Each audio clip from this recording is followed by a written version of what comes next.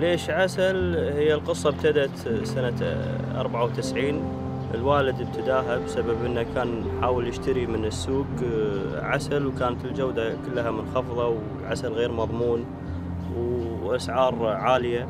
فحاول انه هو ينتج العسل يعني بجودة مضمونة فابتدى مع الموضوع هذا. وبعدين أنا كنت وقتها صغير شوي شوي صارت هواية يعني وكان طول هالسنوات هذه كان الإنتاج كله للأهل وللربع والجماعة يعني ما كان في بيع رسمي يعني.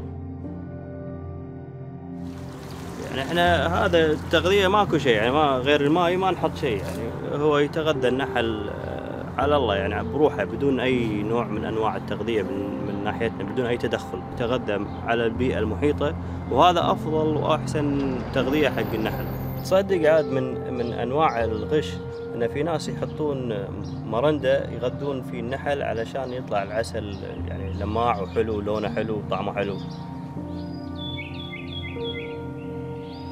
قبل لا تشتري افهم ان العسل لانتاج خلايا موجودة في نفس بيئتك افضل لك واحسن لك من اي نوع عسل ثاني.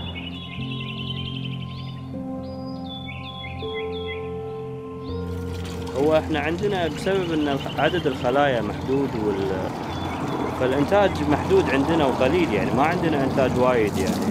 فلذلك إحنا عندنا بس هني وكم مكان ثاني يعني فالإنتاج يكون محدود يعني.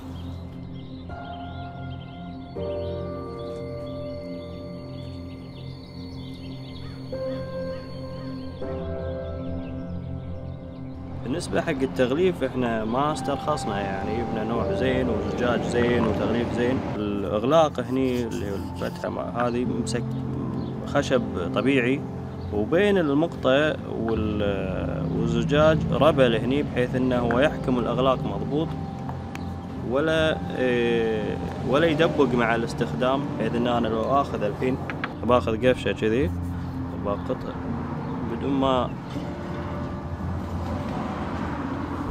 واسكرها ما تدبق